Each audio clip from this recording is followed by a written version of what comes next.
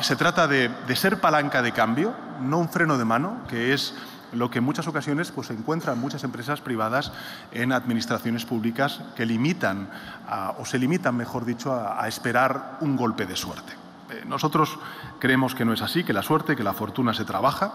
que lo que tenemos que hacer es reforzar nuestro sistema de ciencia, que lo que debemos hacer es destinar más recursos a las becas, impulsar reformas que favorezcan el emprendimiento, que atraigan la inversión extranjera y legando en consecuencia estabilidad allí donde, donde heredamos desgraciadamente discordia. ¿no? Se trata, en definitiva, de mostrar iniciativa, decisión y ambición, y creo que es lo que estamos demostrando hoy aquí todas las instituciones públicas convocadas y también una empresa importante como es De no dejarse llevar, en definitiva, por la inercia,